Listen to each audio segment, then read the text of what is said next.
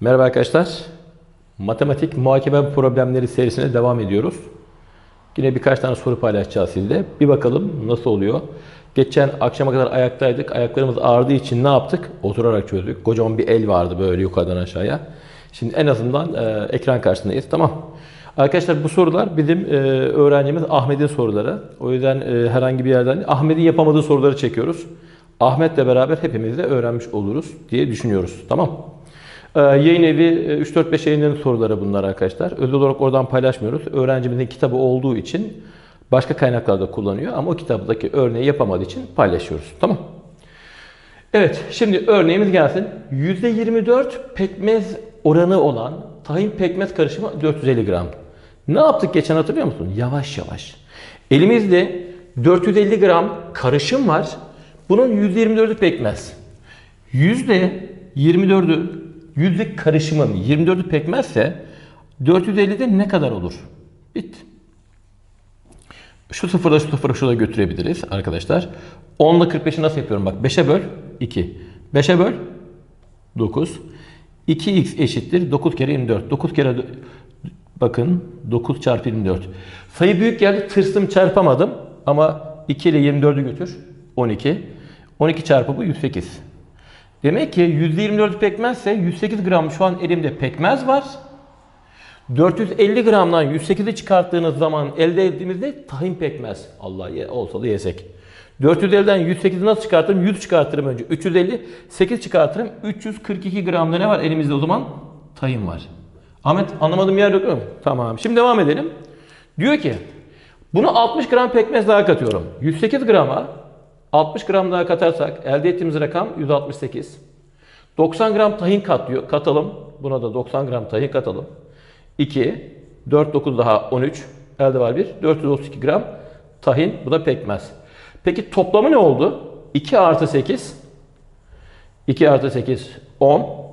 6, 3 daha 9 bir de elde var. 10, elde var 1. 4, 1 daha 5, bir daha 6. Zaten 450 grama 60 gram, 90 gram, 150 gram koyunca ne olur? 600 olur. Yalnız yeni tahin oranını sormuş bir de.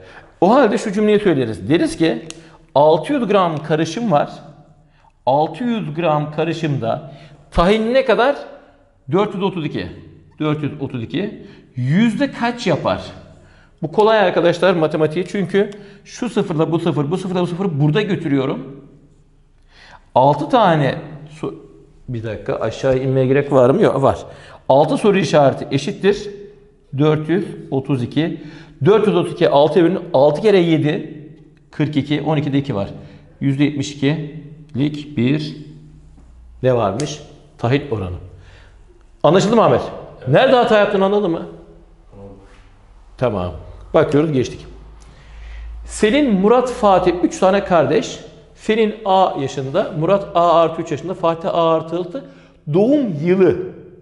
Yani Selin A yılında, Murat 3 sene sonra, Fatih de ondan 3 sene sonra doğmuş. Dikkat et. Kim önce doğdu? Selin. O zaman Selin abla, büyük o. Şimdi anne 3 çocuğun toplamının, yaşları toplamının iki katı. Dur şimdi bak. Yey gol yiyorsun. Selin'in şimdiki yaşına x diyorum. Murat Selin'den 3 sene sonra doğduğuna göre Murat'ın yaşı x eksi 3. Şu anki yaş bu arkadaşlar. Fatih 6 sene sonra yani x eksi 6 yaşında. Anne diyor 3 çocuğun toplamının iki katı. Anne x artı x eksi 3 artı x eksi 6'nın kaç katıymış? 2 katı. O halde anne x x x 3x çarpı 2 6x eksi 3 eksi 6 daha eksi 9 2 ile çarpım eksi 18 yaşında anne. Bakın sorunun tamamını okumuyorum bile. Ha, ne verdiyse gidiyoruz. Hocam bu soruları daha önce hani, tahin pekmez karışımı daha önceden hazırlayayım yaptım ben. 40 yıldır tahin pekmez yemeye çalışıyorum. Hazırlık o. 4 kişinin yaş toplamı, 4 kişi derken Selin, Murat, Fatih ve anne. Anne zaten bu yaşta. E çocuklar da zaten şu yaştaydı.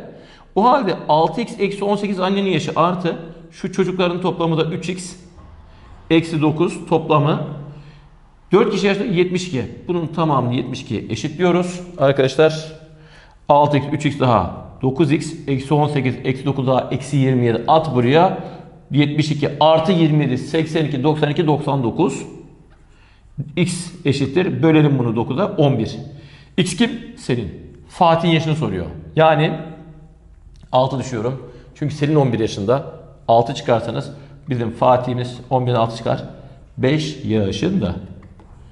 Burada sizin kaçırdığınız nokta ki Ahmet onu yaptı.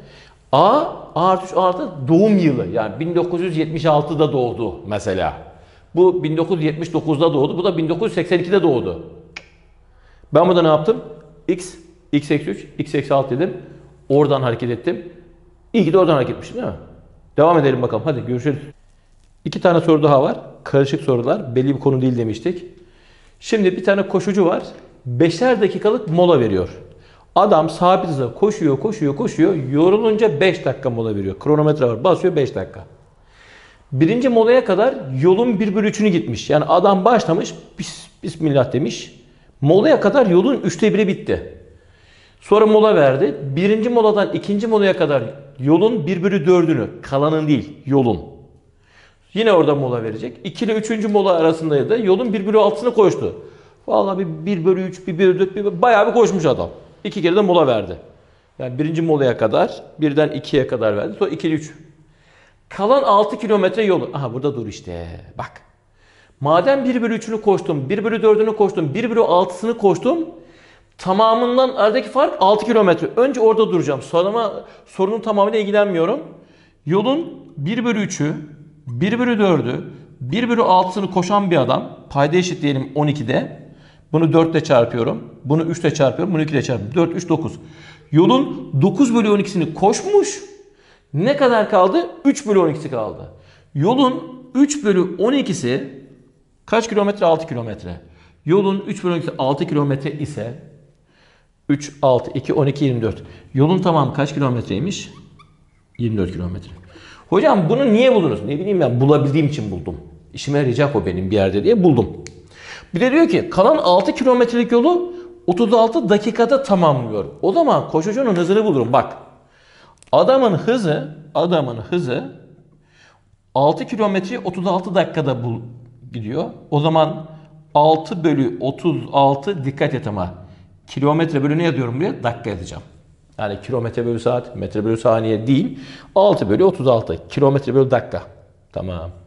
Şimdi üçüncü molaya kadarki süre ile ikinci molaya kadar süre arasındaki farkı sormuş. Şimdi 24 kilometre. Birinci molaya kadar 1 bölü 3'ünü koştu. 24'ün 1 bölü 3'ü ne yapar? 8 kilometre yapmaz mı? Arkadaş geldi. 8 kilometre koştu. Yolun 3 devri bu. Burada mola veriyor. Sonra yolun 1 bölü 4'ü. 24'ün 4'te 1'i ne yapar? 6 kilometre mola veriyor. Sola yolun 1 bölü 6'sı. 24'ün 6'da 1'i ne yapar? 4 kilometre yapar. Bu benim birinci mola aralığım, ikinci mola aralığım ve burada benim üçüncü mola. Üçüncü molaya kadar ki süre, üçüncü molanın tamamı değil. O halde dikkat et 8, 6 ve 4. Üçüncü molaya kadar 8, 6, 4, 18 kilometre koştu mu? Soru. 6 kilometreyi 36 dakikada koşuyorsa 18 kilometre bunun 3 katını ne kadar zamanda koşar? 36 çarpı 3 dakikada yani 108 dakikada koşacak. İyi ama bir de burada 5, 5 ile 10 dakikada burada mola verdi. 118. O halde şuraya yazalım onu. 118 dakika geçti. Nereye kadar? Tekrar söylüyorum. 8, 6, 4 toplamı 18 kilometre. Bu adam 6 kilometre 36 dakikada koşuyorsa 18 kilometre 108 dakikada koşar. Bu kadar. Artı 2 mola 118. Fark ikinci molaya kadarki süre. Birinci, ikinci mola 8, 6, 6, 14 kilometre. 6 bölü 36. 6 kilometreyi 36 dakikada koşuyor ise 14 kilometreyi ne yapar? Aa, burada matematik yapacaksınız. Ya da şunu yapalım. Hızımız 6 bölü 36 ise yolumuz 14 ise süreyi bulmamız gerekir. Bu 1 bölü 6. 6 kere 14. 6 kere 4. 84 yaptı. 84 dakika. E bir de burada bir 5 dakika mola verdim. 84 5 dakika kaç yapar? 89 dakika. Farkını sordu bana. 89. Ya bak ben fizikçiyim, matematikçiyim. 90 olsaydı 90, 100, 110, 118, 28. Bir de burada var 29. Ben böyle buluyorum. Bak ne oldu? 9, 9 daha 18. Elde var bir 11. Demek ki cevabımız kaçmış? 29. E hocam e, şunu yapsaydık 3. molaya kadarki süreyle eksi ikinci molaya kadarki süreden şuradan yola çıksaydık da yapamaz mıydık? Yapardık. Ama şuradaki o mola kavramı var ya o 5 dakikayı koyup çıkartma ile ilgili unutursan ayva yersin. Anladın mı cümleyi? Üçüncü molaya kadar ki yani şurayı istiyor senden. Burada da ikinci molaya kadarki süre. O halde doğrudan 4 kilometreyi ne kadar sürede koşardı? Bir de 5 dakikada mola koyardık. Zaten aynı rakamı verecek mi? Verecek. İspatlıyorum. 6 bölü 36 4 kilometre burası. 4 kere 6 24 5 dakika 29. İki yoldan da giderdik. Tamam. Oldu mu? Ahmet oldu dedi. Ahmet bu bu su sebeli. Bu bizim depomuz. Bu da bizim damacanamız. Damacana. Soruda öyle diyor. Sebilin 1 bölü 12'si dolu. Yani bu sebilin içinde şurada bir miktar 12'de 1 kadar ne varmış? Dolu. Su dolu herhalde. Ne olacak? 1 bölü 12'si. Diyor ki tam dolu damacana yani bu damacana hiç damacana koydun mu sen? Şu 16-17 kilo alıyorsun, ters çeviriyorsun, koyuyorsun oradan tıkır tıkır kalkacak. Tam dolu damacananın 1 bölü 9'u. Damacananın 9'da 1'i. Hazneye boşaldığında haznenin dolması için 12 litre gerekiyor. Vış. Bak şimdi. 1 bölü 12 depo. Şöyle yapalım. Tamam mı? Bunun tamamına x diyelim. Tamamına. 12'de x bölü 12 dolu artı. Damacanadan 9'da 1 geliyor. Damacananın 9'da 1'i artı 12 litre daha koyarsam tamamını elde ediyorum. Yani kimi elde ediyorum? X'i. Bu bir. Geliyorum 2'ye. Yok diyor. Damacananın diyor. Yarısı boşalsaydı. Yani x bölü 12 zaten var. Damacananın yarısı boşalsaydı. Haznenin tamamen dolması için 5 litre gerekiyormuş. 5 litre daha koydum. Ne elde edeceğim? X. Damacana kaç litre? Damacanayı soruyor. O halde iki tane bilinmeyen var. iki tane de denklem var. Biz bunu çözeriz. Anlaşıldı mı buraya kadar? Nasıl çözersin? Bunu buraya atarsınız. Bak şimdi bunu buraya atalım. Yer bulayım ben kendime oradan. Şunu yazabiliriz. En tepede nerede ne kadar gözüküyor? Soruyu yazmak çok uzun sürdüğü için e, şuraya geçeyim. Şuradan d bölü 9 x bunu buraya atarsanız eksi x bölü 12 tamam mı? Artı 12 eşittir 11 bölü 12 x yapar. Tamam mıyız? Aynı zamanda bunu da buraya atarsak tamam mı? d bölü 2 artı 5 x'ten de bunu çıkartırsanız d bölü 2 artı 5 eşittir x eksi x bölü 12 12 1 11 bölü 12 yaptı doğru mu? Yanlış yapıyor muyuz? Yapmıyoruz. O halde şunlar zaten eşitse d bölü 9 artı 12 d bölü 2 artı 5 eşitse eşit diye biz taraf tarafa yazalım. Dersin ki d bölü 9 artı 12 eşittir. d bölü 2 artı 5. d bölü 2 yarım. Bu 9'da 1. Bunu buraya bunu buraya atalım. 7 eşittir. Matematik yapıyorum arkadaşlar. d bölü 2 eksi sizin matematik daha güçlü. 9 2 orada 18 yaptık. 9'dan 2 çıktı. 7 d bölü 8 yaptık. Eşittir 7. 7 7'yi götürdük. 18'i buraya koyun bitti. Zaten ben biliyordum 17 litre olduğunda 17 mi 18 mi ona bakacaktım. Damacana 18 litre çıktı. Tamam mı?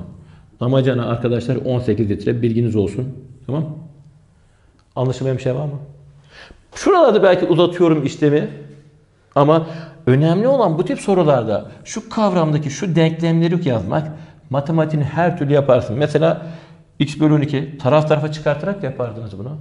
Derdik ki öğretmenim ben bunu bundan çıkartıyorum. Al sana, al sana, al sana, al sana. Eksi, eksi. Aa bitti işte. O senin matematik kabiliyetin. Şuradaki mantığı anla. Şu denklemi kurduktan sonra sen bir bilinmeyenli birinci derece denklemle, bir bilinmeyen ikinci derece denklemi, iki bilinmeyenli birinci derece denklemi, iki bilinmeyen... Karıştı değil mi? Çözmeyi biliyorsun sen. İki soru daha olsun. Yeter dinlenelim. Tamam. Şimdi gelelim soruya. Bir okul var.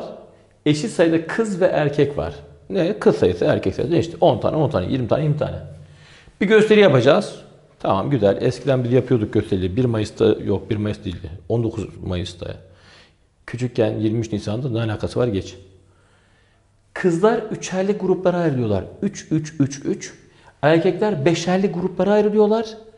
Her grubun başkanı kendi içinden seçiliyor. Yani bu üçün bir tanesi başkan, kız başkanı. Bu da erkek başkanı. Tabii kızlardan üçer üçer olursa kızların grup sayısı fazla. Erkeklerin ise az. Her grubun başkanı var. Kız başkanı erkeklerden 8 fazla olduğuna göre. Şimdi erkeklerden kaç grup olsun diyelim ki? Kızlardan X grup olsun, erkeklerden Y grup olsun. Kız başkan sayısı her grupta bir tane olduğuna göre X. Erkeklerden 8 fazla. O zaman ne elde ederiz? Y artı 8. X grup var kızlardan. Y erkek grubu var.